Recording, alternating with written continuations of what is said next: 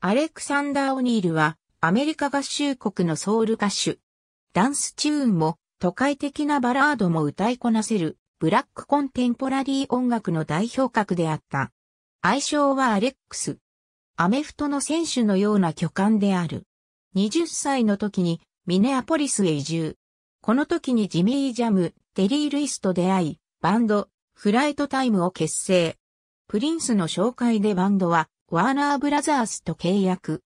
しかしプリンスがアレックスをボーカルに据えることに、金銭面で折り合いがつかず、歌声が黒すぎるという理由をつけて、モーリス・デーと交代させ、バンド名もザ・タイムに変えさせてしまう。アレックスは1984年にタブーレコードと契約。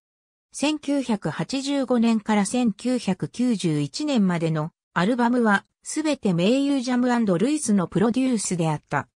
また、本国よりもイギリスで人気が高く、リミックスアルバムやクリスマスアルバムはイギリスの市場を意識しての作品である。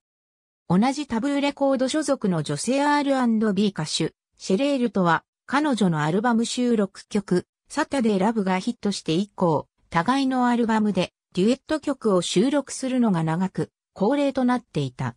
シェレールと共に1988年には来日して、タブーナイツというライブを行っている。1990年代半ば以降は、彼女の活動が停滞しているため行われていない。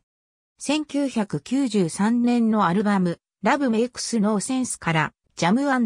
ルイス以外のプロデューサーを選択するようになり、セルフプロデュースも行うようになってきている。